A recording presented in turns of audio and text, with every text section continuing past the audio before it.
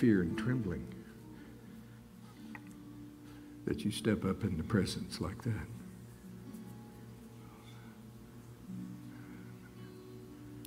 So caught up in his presence. Father, we just thank you that when your presence is here like this, then all things are possible.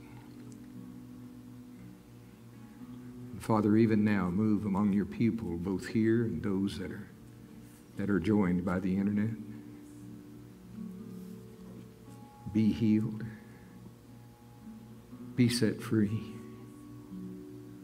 We bind every tormenting spirit that would come against you, every depressing spirit that would come against you. We bind you now in the name of Jesus and cast you out. Cannot stay in the presence of the Lord. Leave now in Jesus' name. Father, I speak healing of emotions. I see people letting go of old bitterness, old things. Been trying for years to let it go. Tonight, let it go. Jesus' name. Hallelujah. Oh, hallelujah. Glory.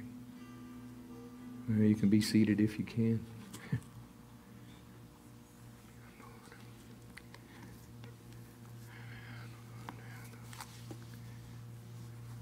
it's been one of those days when it's been so difficult for me to uh, settle on what he wants to do tonight. Um, I think I have started a dozen messages and none of them are the message. I'm going to say it like this I have to have more of God or I'm going to die. I'm just, I have to have more. I, I hope you're in that same boat with me. Are we in fellowship? I can't, I can't take where we are. Let me say where I am, I can't stay here. And somehow I know we're at the end of a season. I don't mean fasting season, but I'm happy about that. I don't, but we're at the end of some kind of a season, and we're coming into a new season. It's going to be scary and wonderful, frightening and blessed. Most of all, it's going to be Him.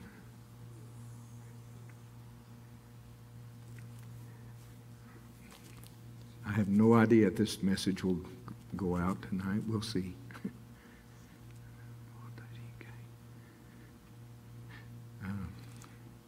as you do the message that was laid out for us by our, our pastor Dave Roberson, you learn to assimilate the word and pray a lot in other tongues to activate the teaching gift of the Holy Spirit. Spend time in worship. Do some discipline of the flesh through fasting. It's amazing because you seem to, uh, I'll talk about me mostly. I hope it's, I hope you can relate. But I'll have seasons where he's having me look really deep into that mirror of 2 Corinthians 3:18. You don't have to turn there, but we all with open face, beholding as in a glass the glory of the Lord, we are changed into that same image from glory to glory, even as by the Spirit of the Lord. James talks about it, the same mirror in James chapter 1. He says, if you continue looking into that perfect law of liberty, not being a forgetful hearer, but a doer, a doer of the work, we talked about that recently. When I look in that mirror, which I know is what the Father has done for us by grace, He's put, when we were born again, He literally birthed a new man, a new creature on the inside of us. Ephesians 4 tells you that that, that new man is after God in God's image created, and I like to think, not think, I'd like to say from the get-go, in righteousness and true holiness. See, and when I look in that mirror, I know there's a transforming process. You could add a lot of other scriptures, as he is. so am I in this world. Isn't that right? But see, we're also baptized in the fire of the Holy Ghost. John the Baptist said, I baptize you in water, but he that's coming after me. He's not, I almost kind of wish he had just said, I'm going to, he'll baptize you in the Holy, Holy Ghost, but he didn't stop there, did he? He's going to baptize you in the Holy Ghost and with. So I'll spend time looking in the mirror. Yes, you know, we could go to the in Him confessions, everything that we are in Him. Yes. I am the righteousness of God. Yes. I am this. I am His Son. Yes. Then you spend time praying in the Holy Ghost, and He starts digging around the dirty attic of your soul. He starts going into rooms that you boarded up decades ago. You don't allow anybody to go in there. You don't even go in there yourself. But see that song that they sing, He will not relent until He has us all, he, he, all of us. Uh, he's not going to leave any of those doors nailed shut. So, on the one hand, I'll be, I'll, I'll be doing the message and I get a good look into that mirror and glory to God, I'm His Son. He loves me. I'm righteous. I'm holy. And then spend time praying in tongues, and the Holy Spirit takes me by the hand and leads me into one of those. I'm not, oh, good, I'm not the only one, thank God. Takes me into one of those rooms, and like Dave says, look at all the dirt this light brought. and I see parts of me that are so unlike Christ. It's, so in the one minute I'm, yes, I'm his son, I'm righteous, I'm holy. The next I'm a slime, I'm a worm, I'm a dog. You know? No. He is purging us. He is relentless. That song is really good. He will not relent. He is determined to. You know that old that old uh, question that in the early days I didn't know the answer to. You know, a lot of people still ask it. So why didn't God just for, forgive Adam when Adam sinned? Just forgive him why all of this 2,000 years and Christ and the law and crucified? Why? Couldn't you just forgive Adam? Well, he did. Really, he did. When he slew that animal and covered Adam and Eve with the bloody skin, something innocent had to die. There's your first type of Christ right there. Or the cross, anyway. That innocent lamb. I'm sure it was a lamb. I can't. That's forgiveness, isn't it? when he covered them? Something innocent died in their place? But see, here's why that wasn't enough. Mankind doesn't realize the depth of the fall, what happened to us. There was a season years ago where he had me teaching, like from God's point of view, we didn't even look like him anymore. We became twisted, depraved, creatures with four eyeballs and tentacles coming out our forehead. I'm exaggerating, you know, maybe green in color. Nobody's green, are they? Okay, green. Don't want to offend anybody. You know what I'm saying? He says, I, it's not a matter of just forgiving you. I don't want to forgive you and leave you like you are. How you are is not how I made you. I made you in my image. And I will not relent until I have you in my image again. That's what we're going through. He is determined to conform us to the image of his son. Now, in our spirit, that's already been done. That's you talk about grace.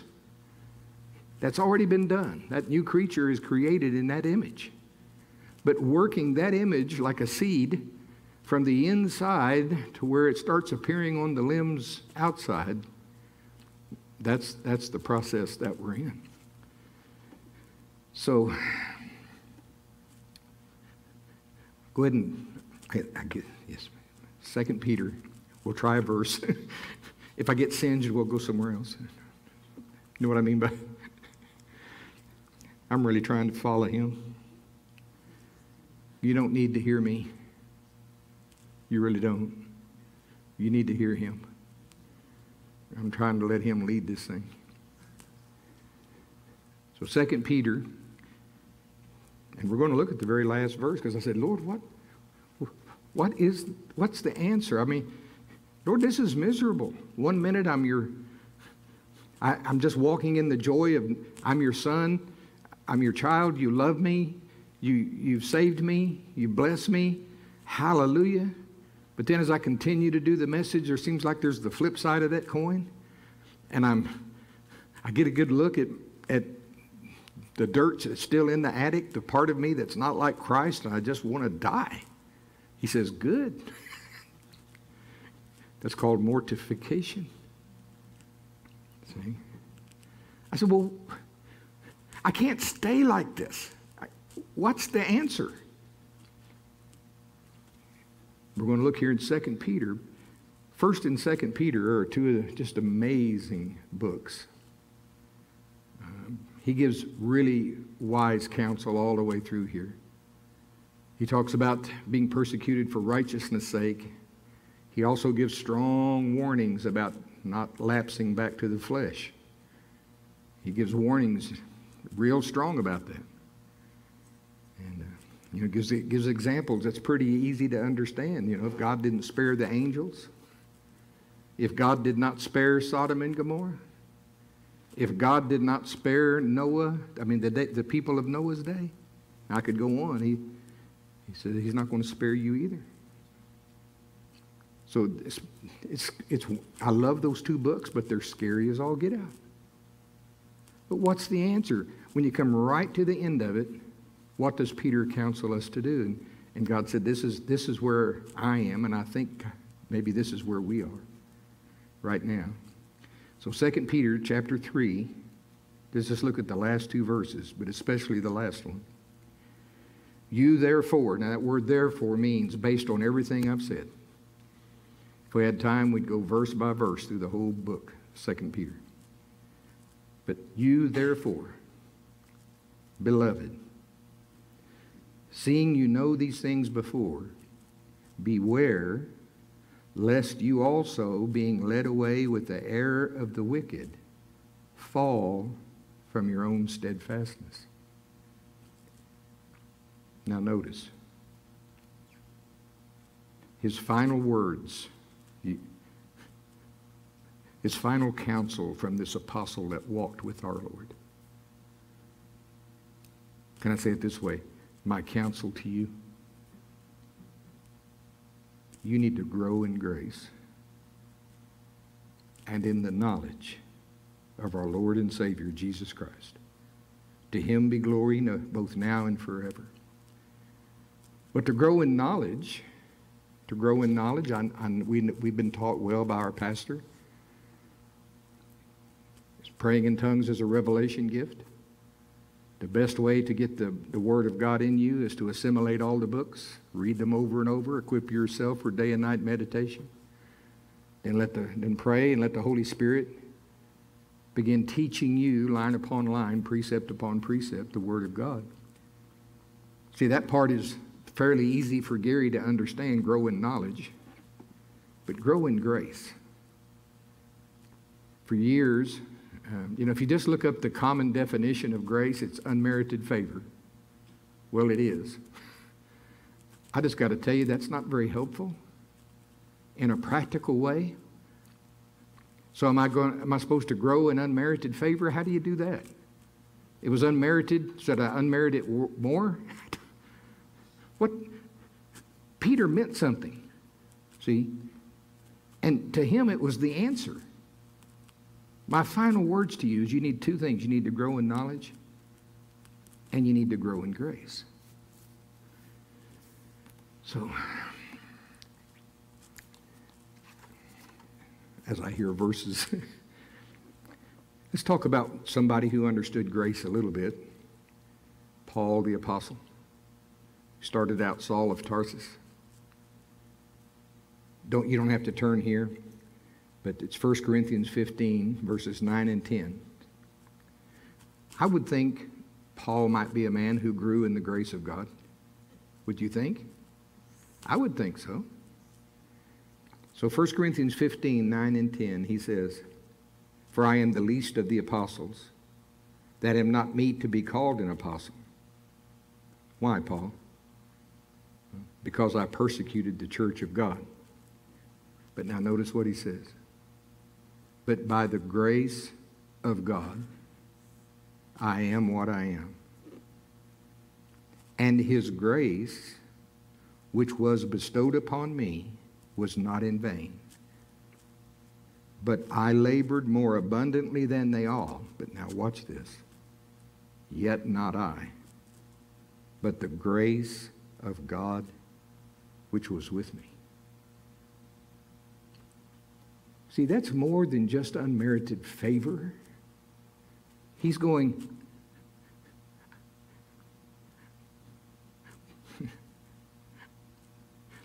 I think Paul visited more cities. He got stoned more often. He got beat more than anybody. He, he said, I labored more than they all. But when he really thinks about it, he said, Well, it really wasn't me. It was God's grace. I think this man grew in grace. So I've been meditating on him again. And I thought about his Damascus Road experience, and that happened shortly after Stephen was stoned. You know, Stephen was the first martyr. And Paul, it says, was standing there giving his approval. Well, that's because he had been given letters from uh, Jerusalem. He had, he had been given authority. And uh, he held, the, you know, he, he, he wasn't going to get his hands dirty with the rocks. He held the coats while those men stoned Stephen to death. Now, here is the thing. You can be turning to, I hear that, uh, Philippians 3. I've got a lot of places marked. I just don't know where he's going. I had, that's one of them I had marked. Talk about a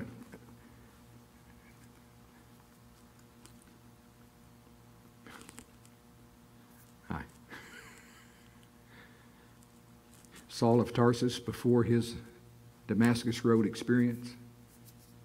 He thought he was pleasing God so much. He was, he was keeping the law.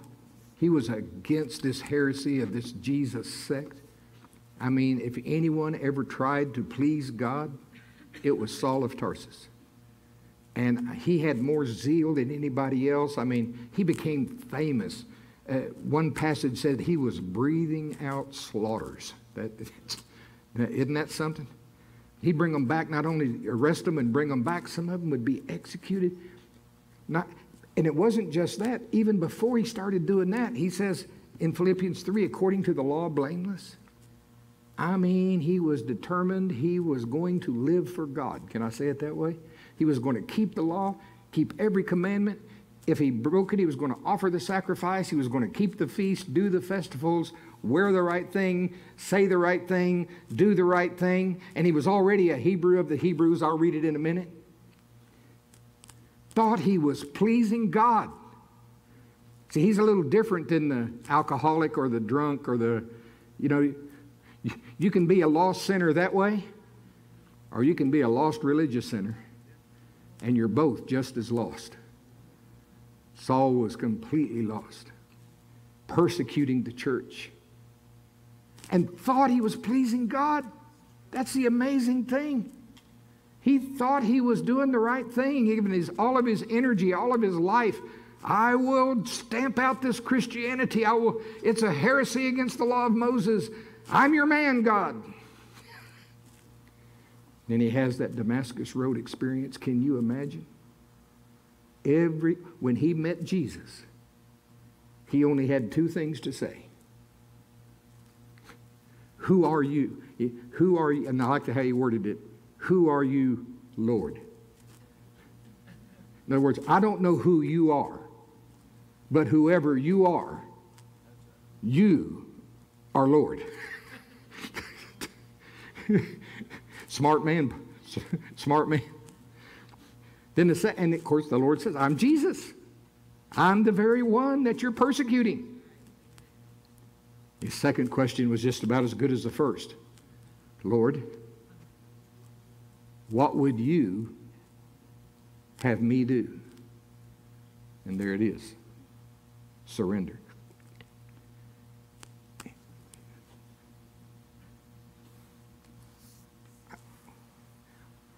When I think about my dirty attic, it's completely different kind. Mine wasn't religious dirt. Well, some of it. More, mine was more sin dirt. I don't think Saul had a lot of sin dirt, but it was dirt. He had to let every bit of it go. Even though he has the memory of it, you can tell right there. He has the I persecuted the church. It's not like he forget it. He has the memory of it. But you know what else he has the memory of? The blood has washed every bit of that away. See? It's grace. Saul, we just read it. He said, Paul, Saul, who became Paul, says, I am what I am by the grace of God. God saved him. If I can find this, I'm hearing this off a page I wrote from a John G. Lake quote again. Did you know John G. Lake's uh, genealogy? He was Scottish. If you check back his genealogy, he's Scottish, and they're pretty stubborn people.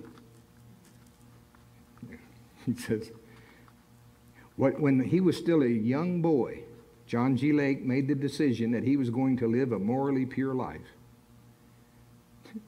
Gary does not have this testimony that I'm about to read. John G. Lake had it. He says, I never touched whiskey. I never touched tobacco.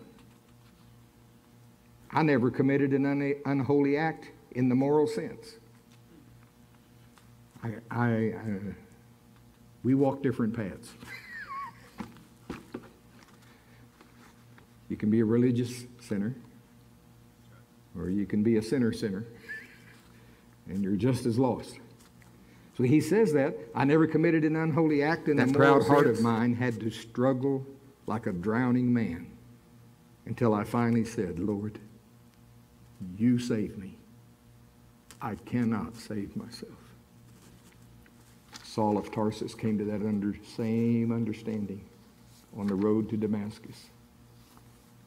It's amazing that he did not get judgment if Jesus was a earthly king and you were caught killing his soldiers, like Stephen, you might be brought into judgment and executed yourself. Isn't that right? See, when you come to the throne of grace, what's the first thing you find? That you might obtain mercy and grace to help in your time of need. So the subject tonight is growing in grace. Growing in grace. Um, grow in grace. On this trip that we just got back from um, to Ohio, I, I got a little more insight about what grace is. See, see, I'll be honest with you, I could give a rip about your definition of grace if it doesn't help me walk better. I, I want to walk higher than I've walked before. I want to walk more like him than I have before. I, I could care less if you know the Greek definitions. I, I, use them myself, it's fine. But can you please tell me how I can grow in grace so I'm not the same person I was last year? Now, see, that's, that's what I'm after. I'm not interested in anything else. Well, he gave me a practical insight on what he means by grace, this unmerited favor that he keeps talking about. And believe it or not, he used my daughter Angie on this trip. And it's not just really this trip. I've, I've known Angie. I've known Angie a long time. I've pretty much known her her whole life, you know. Angie, for those that don't know, and, I, and I'm not, I mean, my other daughters are this way, but with Angie, it's just really highly developed. Angie lives to help.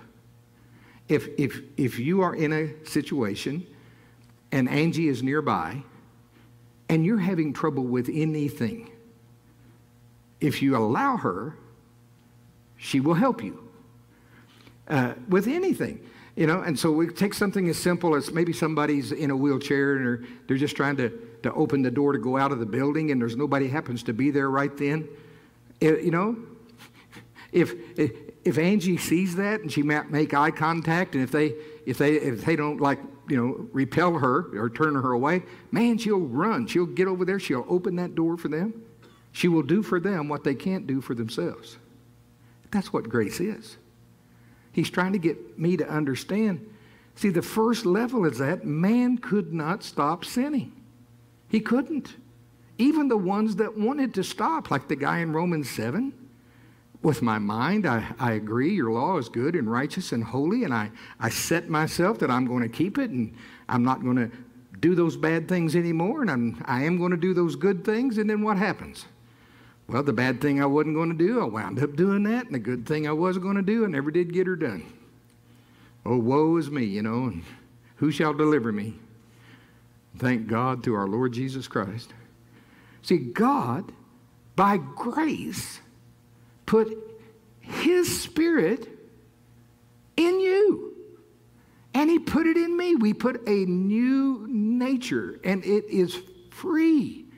There, this is what I was with, with Saul of Tarsus. All of his labor, all of his working, all of his striving his whole life to please God by his own effort, he finally had to count every bit of that. The nice word is dung, poop. Uh, okay, that's good enough. worth nothing. Like, let's read it. You still in Philippians 3? Or did I ever say go there? I didn't. Go to Philippians 3. I didn't say go there. Oh, my goodness. Yeah. So he gives his pedigree here a little bit. I know you've read this before, but we're headed to a really grace verse. This is, this is the one. It's, it's in chapter 4. If you're real nice and give a nice love offering, no, I'm teasing. I'll tell you which verse it is. But, but Philippians 3 8, you have to start in verse 1. Finally, my brethren, rejoice in the Lord. To write the same things to you, to me indeed is not grievous, but for you it is safe. And what's funny, he says, Beware of dogs, beware of evil workers, beware of the concision. That means the circumcision. He was them. Saul of Tarsus, he was the head of them. You understand? I mean, not exactly because these guys were saying you could be Christian, but you had to keep the law. He was saying you couldn't even be Christian. Okay? But he was, he was like the epitome of the bad. he says, For we are the circumcision which worship God in the Spirit and rejoice in Christ Jesus and have no confidence in the flesh. And here he starts listing his pedigree. Though I might also have confidence in the flesh. And he's talking about before he met Jesus on the road to Damascus. If any man thinketh that he hath whereof he might trust in the flesh, I am more. Circumcised. Now he's talking all this stuff from the law. Circumcised the eighth day, of the stock of Israel, of the tribe of Benjamin, a Hebrew of the Hebrews, as touching the law, a Pharisee, concerning zeal, persecuting the church, touching the righteousness which is in the law, blameless. Now we know nobody perfectly kept the law. If anybody did, Jesus didn't have to die. But what he's saying is, whenever he might, I, mean, I bet he did pretty good, but whenever he missed it, he would offer the appropriate sacrifice, and that would make him blameless. So he was a stickler. He was doing everything he could to please God. But what things were gained to me, those I counted loss for Christ. Yea, doubtless, and I count all things but loss for the excellency of the knowledge of Christ Jesus my Lord, for whom I have suffered the loss of all things, and do count them but dung, that I may win Christ. Paul is the one that wrote Ephesians and Colossians and Philippians and where we get all of the revelations. He's the one that received the, the real understanding of the new birth, meaning He's a new creature. He's not a Hebrew anymore. He's not of the tribe of Benjamin or, or anything else. He's of the tribe of Jesus. Jesus is his Adam. His righteousness is of God. On and on. It's, oh, anyway, could preach right there forever. But be found in him, not having mine own righteousness. Well, his whole life was trying to develop his own righteousness before Not try, not having mine own righteousness, which is of the law, but that which is through the faith of Christ. The righteousness which is of God by faith. I got to finish reading part of this. That I may know him. What did Jesus define eternal life to be? Father, that they may know thee and, and Jesus Christ. So that means, and to know Jesus Christ, whom thou hast sent. That is life eternal. Paul is saying the same thing. Not to know about him either. You got to have your own relationship with him. You got to know him. That I might know him and the power of his resurrection, the fellowship of his sufferings, being made conformable unto his death, if by any means I might attain unto the resurrection of the dead. I thank God for this verse, not as though I had already attained, either were already perfect. Even Paul, he says, I haven't arrived, but I follow after, if that I may apprehend that for which I also am apprehended of Christ Jesus. Brethren, I count not myself to have apprehended, but this one thing I do forgetting those things which are behind and reaching forth unto those things which are before, I press toward the mark for the prize of the high calling of God in Christ Jesus. And we're all pressing toward that mark. But now let's talk about growing in grace. Peter says the answer you need to grow not only in knowledge, you need to grow in grace. If you keep reading this, and we, you know, for Let's come on down here a little bit. Chapter 4, let's start in verse 10. It's hard for me to start there, but we will. See, this, this letter to the Philippians is really a combination teaching letter and a thank you letter. The Philippians, which is the uh, Macedonians, sometimes he calls them, church at Philippi You'll find out here in just a little bit, if we get that far, that this was the only church that financially supported Paul in the beginning of his ministry. They're the only ones. Sidebar. That sure gives you one understanding of what Paul did not preach. Everywhere he went, he did not preach in all those churches, God will bless you if you give into my ministry. Because if he'd have preached that, they would have been given. Sure gets quiet right there every time. Isn't that an, isn't that an insight?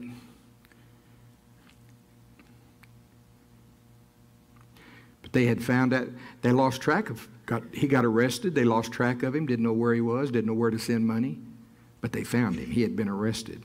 And they sent a guy named Epaphroditus. They took up an offering. They sent Epaphroditus, who nearly lost his life trying to get the money there. And he brought that gift to Paul, and now Paul is sending back with Epaphroditus this letter and a thank you. You know, it's a thank you and a teaching letter. But now notice this. Pick it up in verse 10.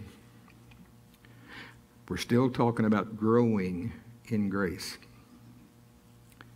He says, I rejoiced in the Lord greatly that now at the last your care of me hath flourished again. He's talking about that gift wherein you were also careful, but you lacked opportunity. In other words, I know you wanted for a long time to give, but you didn't have the opportunity. Basically, they didn't know where he was. Now, notice this. Not that I speak in respect of want, for I have learned. If you underline, please underline learned. Sometimes this takes a while. It is something that is learned, it's not born in you. You learn this. in whatsoever state I am, therewith to be content. I know both how to be abased. You know what abased means? That's probably where they lock you up and take everything away, and you got dry beans and a cup of water every day to drink. I mean, abased. And I know how to abound. That's where you have more than enough. Says, I've, I've been in both situations. I know how to be abased. I know how to abound. Now, notice everywhere and in all things, I am instructed. I like that word, instructed, both to be full and to be hungry. Modern Christians today, they would never say that they were instructed to be hungry. Depends on where He sends you. I am instructed. That word instructed is really strong. It, it goes right along with learned. Holy Ghost taught him these things. He taught me how to be full, taught me how to be hungry, both to abound and to suffer need. Sue and I, and Alan and others, of course, in a first world country, people laugh at you when you say you've ever suffered need. You know, our suffering need is probably luxury to most of the world. Okay? But by American standards, we've suffered need. We know what it is not to know where your next meal is coming from, not to have any gas in the car to even go anywhere. And, and uh, you know, we know what that part is. We don't know a whole lot about abounding. We know a little bit, not, not like he and Solomon knew something about abounding. okay. okay, but anyway, that's not the message tonight. But I, did you notice the, the link between learned and instructed? Holy Ghost had to teach him. He's like anybody else. Gary, I'll just tell you, I'll use Gary and not you. Gary likes it when we abound. I'm not so crazy about the suffering need, and uh, you know. But the Holy Ghost is teaching me, like He's teaching the rest of us, to be content no matter where we are. And how do you do that, though? See, we're not through yet. Verse 12 again. No, look at verse 11. I want to, hear, I want to hit that word learned again. Not that I speak in respect of want. In other words, I'm not in, I'm not, I'm not in lack. For I have learned. Again, I have learned. I want to say it another way. I sat in the classroom and was taught until I learned. Now, the classroom might have been experience, but I'll tell you right now, the teacher was the Holy Ghost. You hear me? I have learned in whatsoever state I am, therewith to be content. Someday I will have that same testimony. I'm more content than I used to be. Okay? But I doubt I'm that con- content. But I will be if I keep allowing the instructor to learn me bad grammar to teach me. I know both how to be abased and I know how to abound everywhere and in all things. I am instructed both to be full and to be hungry, both to abound and to suffer need. But now here is the key. I told you earlier the, the key to growing in grace. It's right here. I can do all things through Christ who strengthens me. Angie, come here for a minute. Sorry, baby. I'm going to pretend. If, can y'all pretend that I have no arms? And I, am trying to think of examples that won't offend anybody. If you have no arms, I, I, I'm not picking on you. I could pick other things. I'm just trying to illustrate a point. I have a, in my case, I have no arms. Can you see that? For videos purposes, I'm doing my best. I have no arms. But there's a folder on the floor in front of me, and I need it. I need it up here. Now, I could get down on my hands and knees and try and get it with my teeth. I could try and kick it around and maybe get it up one leg and What if there was a helper? I want to say, what if there was an Angie that was with me all the time? Y'all see where I'm going? That was with me all the time. That when I can't do something, this helper, if I allow it, would do it for me. That's grace. We couldn't stop sinning. Man, nobody could stop sinning. But God, by His grace, put first a nature on the inside of you that empowers you to stop sinning. And He gave you the Holy Spirit who also helps you with any infirmity you might have, and that is by grace. But we have got to learn to grow in grace because I've got a feeling what my life is like from the Holy Spirit's perspective.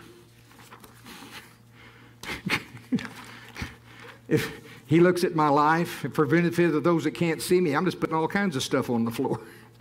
In other words, I got all kinds of problems, and I don't know how to fix them. And I'm probably like Saul of Tarsus. I'm working and I'm working and I'm working. And God will probably stand right there with an offer and a look and like, are you going to help me? Are you going to let me help you now? I, when I was trying to, when I was meditating all this, I saw a person like in a wheelchair, you know, little little old hunched over person in a wheelchair and had a cane, but they's in a wheelchair too, and they couldn't they couldn't open the door. And so Angie kind of walked up to open the door. Here's where a lot of people are. Took that cane, whack, whack. I'll do it myself. And I think we do that more than we realize. Because we haven't grown in grace. I'll figure it out, God. I'll figure out these problems. I'll do better. We revert back to Saul of Tarsus instead of Christ who strengthens me. Help me in. Just please help me by, by your grace. I can't get them. See, remember, I have no arms. I'm unable to do it on my own. But God, by His grace, demonstrated by Angie. You do know her name is Angela, which means messenger of God. She's aptly named. she named her after name. You can, you can go sit down now, I think. Just, just give her a hand. When Peter says grow in grace, he's really talking about learn more how to release that power that's on the inside of you. Yes, sir. I believe that's in, go, go to Ephesians. Um, I think. Yes, yes, yes. Thank you, Lord. Ephesians chapter 3. See, we all know God can do anything, isn't that right? Can't God do anything? I, Paul, he just said, I can do all things through Christ who strengthens me. Well, Christ means anointed one. It's, it's that nature of Christ baptized in the Holy Ghost. It's the anointed Christ on the inside of you. And God can do anything. Well, Paul wrote about that over here in Ephesians chapter 3 in this uh, prayer that he wrote. Uh, we'll start in verse 14, Ephesians 3:14. For this cause I bow my knees unto the Father of our Lord Jesus Christ, of whom the whole family in heaven and earth is named, that he would grant you according to the riches of his glory, here it is, to be strengthened with might by his Spirit in the inner man. Here's what it doesn't say that you would be strengthened with might by your best efforts. No, He strengthens you Himself. That's what grace is. Grace helps when you can't help yourself. That Christ may dwell in your hearts by faith, that you, being rooted and grounded in love, may be able to comprehend with all saints what is the breadth and length and depth and height and to know the love of Christ which passes knowledge. What did Peter say? You need to grow in knowledge. Well, there's a love of God that even is beyond knowledge. See, Sue, Sue loves me. I know that, but I don't know why. I've never understood why. But that doesn't mean I don't reap the benefits. I thank God she loves me, you know. I thank God he loves me. But now look at verse 20. Now unto him that is able to do. Doesn't say he will do. No, he's able to do exceeding abundantly above all that we could ask or think. Wow. Joe, would you like to have some of that? I can think pretty high. I can ask pretty high. But he, he's able to do exceeding abundantly above all that I could even ask or even think He's able to do it, but what determines if he doesn't? It's according to the power that worketh in us. Now, what did Paul say? I can do all things through, there's your power right there. Anointed by the Holy Ghost, Christ in you. Christ means the anointed one. It doesn't mean just one, it means the anointed one. That spirit of Christ, that nature of Christ on the inside of you, and the anointing of the Holy Ghost that's on the inside of you, that is the very power of God. And that's how He does it. But you got to grow in that grace. Yes, sir. Go back to Philippians. I'm going to give you practical instruction. Philippians. Back to Philippians chapter 4. See, right before he starts talking about that, and you got to remember, Paul is writing this letter from prison. He was in prison when he wrote it. How do I grow in this grace? Well, how you do it is you worry and you fret and you try and figure everything out yourself and you get an extra mortgage on your house and you work two jobs and you tell everybody about your problems and you know oh maybe that's not the prescription that he gave here on, on what he was instructed how to do it. Verse 6 be careful for nothing. And plain modern english stop worrying. That's what it means. Be careful for nothing, but in a few things. Oh, boy, you guys got a good Bible. But in everything, see, I, will just tell you right now, Gary needs to grow in this grace right here. It's like, you got a big problem. Oh, man. We better pray. Somebody says, Has it come to that? like only as the last resort, after we've done everything we can possibly do in the natural, now maybe we'll go to God. When Paul said, I, have learned a few things. I've learned how I can do I can do all things through Christ in me. But as I learned, I learned kind of how to do that. Here it is. In everything, by prayer and supplication. Now, with thanksgiving. Why is that in there? Because you know He heard you. We know that if we ask anything that's according to His will, we know that He hears us, and our confidence is if He hears us, then we have the petition that we desire of Him. When you pray, expect results. Start thanking Him when you pray, not when you see it. It says with thanksgiving, let your requests be made known unto God. And then that's all there is to it. All I got to do is make the request and thank Him for it, and then I can just worry. Oh, oh, well, that's what. I, am sorry, let's keep reading. And the peace of God. Now, if you underline, underline the word peace because he's going to bracket that with, a, with a, another statement at the end of this. The peace of God. How many loves the peace of God? Oh man, there's nothing like the peace of God. You could have all kinds of turmoil going on and still be had the peace of God ruling in your heart. I've been right there. You can also not have it. I like having it. He's teaching you how to have it. The peace of God which passes understanding. Now your mind will not be able to understand why you're so peaceful. But it'll keep your heart and your mind through Christ Jesus. And here's his instruction.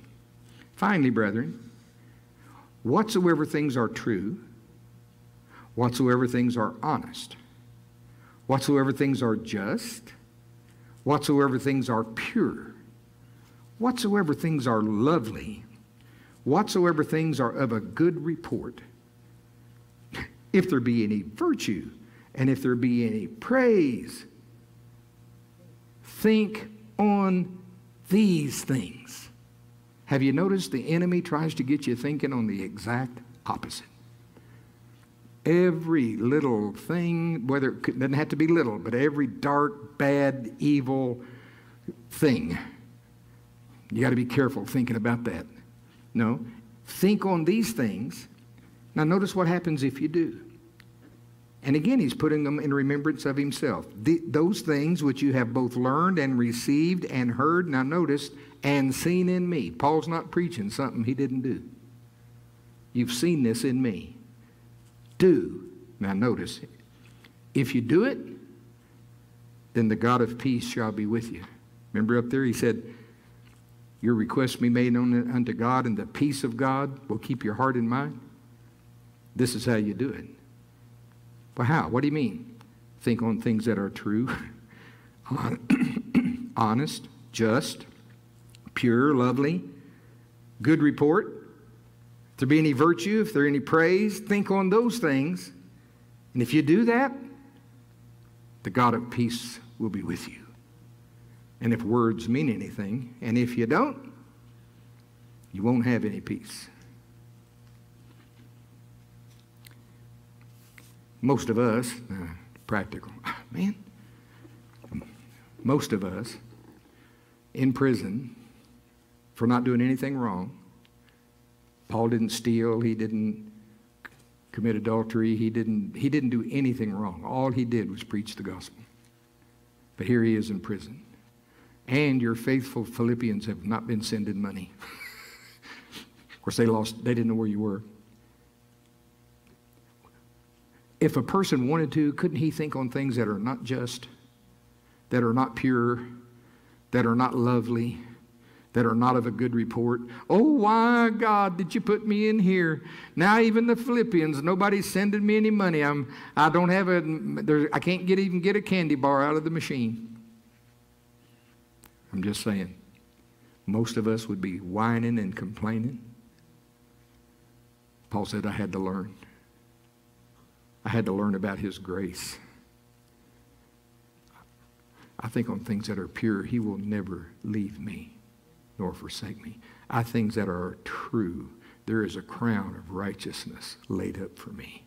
I think on things that are lovely. I remember that glorious day on the road to Damascus when he delivered me from myself and saved me and brought me into his kingdom. On and on. Paul thought on all those things and it kept him in peace. No matter whether he was abased or abounding, whether he was free, whether he was in prison. He said, I've learned, and if you'll do these same things, the God of peace will be with you. You'll grow in grace. I want to finish with this, I promise. I'm going to show you. Good Lord, somebody scattered all my papers. who that was. Now, Angie, you're supposed to put them back in sequence. She has no, I, I don't even know. Hang on. I'll find it. Here it is. Nope, it's not it. Hmm. Okay. All right. We're just going to do it like this. do it like this. Hmm. Hmm.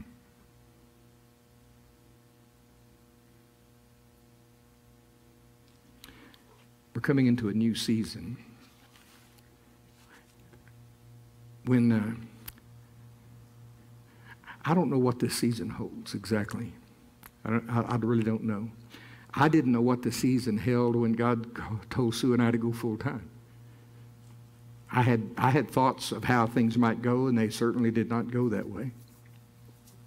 I certainly did not have thoughts that He was going to put us out on a financial limb of a tree and then cut the tree off behind us. I mean, it was scary as all get out. But as I look back on that now, the only reason that I spent any nights in worry and turmoil, the only reason I spent any time like that, because I did not know him. I just did not know him very well. Well, we, all know him a lot better than we did a few years ago. Now let's trust him. Let's grow in grace. And let's understand that no matter what, just say it with me. I can do all things through Christ who is in me. I follow the instructions given by the Apostle Paul. I think on those things that are true, honest, lovely, of a good report, things of virtue and praise. I choose to think on those things and the God of peace is always with me. I have learned, no matter what state that I'm in, to therein be content, for he is with me. Hallelujah. Did you get anything out of that? We are growing in grace. But in that, remember, don't forget that illustration. You, there's not a person in the sound of my voice that you haven't been struggling with something. Could be a family problem, financial problem, a physical problem, emotional problem, a job problem. Part of that instruction was stop worrying and pray about everything. Quit trying to figure it out. Go pray. He's standing there like Angie was standing here in the illustration. He is standing there with all of that power, waiting for you to pray. You watch what he does. He'll add his power, his wisdom, his strength, and we're going to grow in some grace. Amen? All right, hallelujah. Glory to God. All right. So now I'm going to go home and make a list of things that I. I'll tell you an easy way to do it. Just go home and make a list of what you've been worried about. Serious. Make a list. And include yourself, your in laws, your outlaws, your car, your cat, your dog. Well, Alan's dog. I don't have a dog. there it is right there. Pray about each one of those. And then refuse to worry about it. Thank Him that He heard you. And you're going to have all kinds of grace testimonies to give. Because He's not kidding about this. He'll add His strength. He'll add His strength where we're weak. Sunday night's message, I'm trying to quit. I'm really trying to quit. Sunday night's message is titled, He is attracted by your weakness. Did you see that? Angie is attracted when people, anything that they have a lack in their life, any weakness, anything they can't do, if she sees it, she's attracted. She's not repelled. We keep thinking he's repelled by our weakness. No, he's attracted to your weakness. Paul said, When I am weak, then I am strong. Why? Because his grace is sufficient. He'll add his strength. Okay, I got to quit. Hallelujah. Father, I thank you. I thank you. I thank you Thank you. Bring us into this new season. Help us grow in this grace, Lord. You have so many mountains. Lord, in a prophecy, you said, You have mountains of grace for us. And few of us ever even hardly touch it at all. And you said in another prophecy to not ever think there's even a possibility that we could exhaust even one of your mountains of grace. But Lord, I feel we, I fear that, we, well, I don't want to use the fear. I think, Lord, I think, Lord, that we're still very much like the apostle Saul or Saul before he became an apostle. Still floundering around trying to do everything ourselves rather than turn to you and receive by grace. Father, help us grow in grace. In Jesus' name we pray. Everybody says, Amen. Well, I know everybody here. Yep, yep. Save, save, save, save. Fill, fill. Okay. All right. We're not going to have a line tonight. Okay. So you're dismissed. And I don't. Is Friday open for prayer? What time? Starting at noon Friday. Saturday. Saturday also. And that's morning, right? Like seven. Seven in the morning. Okay. Other than that, you're dismissed. Thank you so much. Now, go home and make a prayer list and replace that worry list.